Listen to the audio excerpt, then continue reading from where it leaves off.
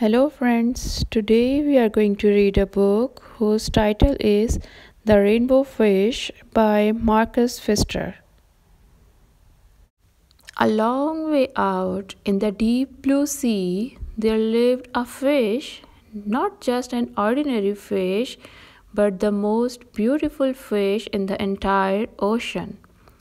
His scales were every shade of blue and green and purple, with sparkling silver scales among them.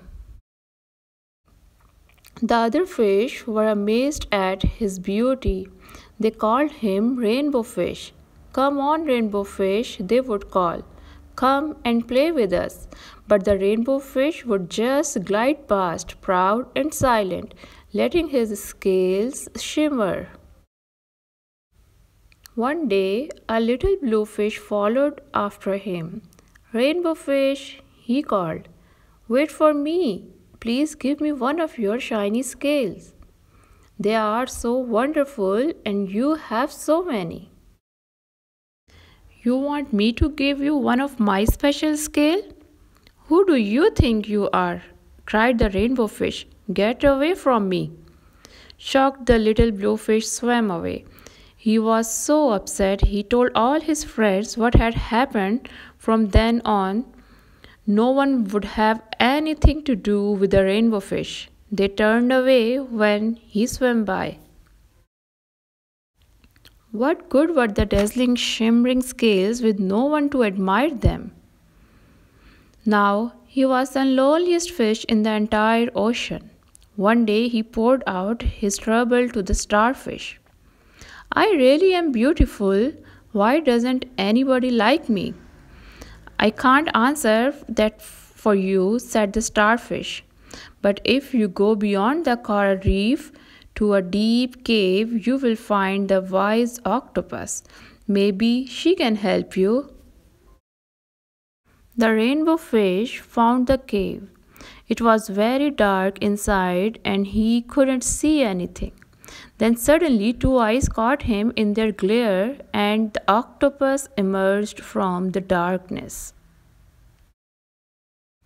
I have been waiting for you, said the octopus in a deep voice. The waves have told me your story. This is my advice. Give a glittering scale to each of the other fish. You will no longer be the most beautiful fish in the sea, but you will discover how to be happy. I can't, the rainbow fish started to say, but the octopus has already disappeared into a dark cloud of ink. Give away my scales? My beautiful shiny scales? Never.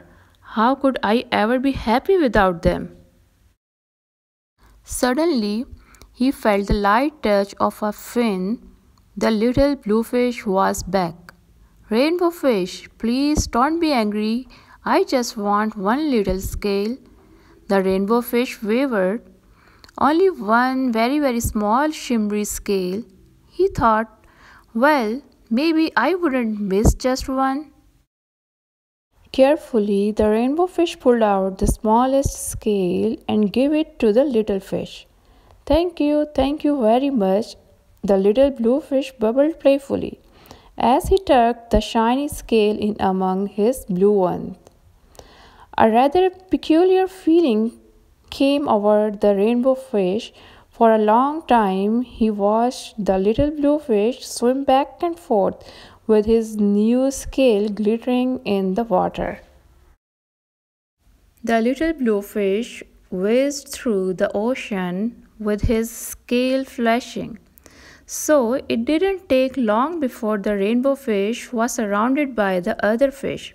Everyone wanted a glittering scale. The rainbow fish shared his scale left and right, and the more he gave away, the more delighted he became.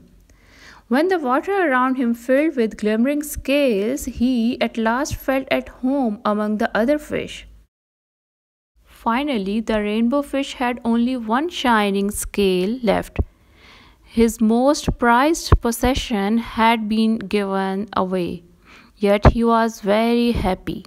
Come on, rainbow fish, they called, come and play with us. Here I come, said the rainbow fish, and happy as a splash, he swam off to join his friends.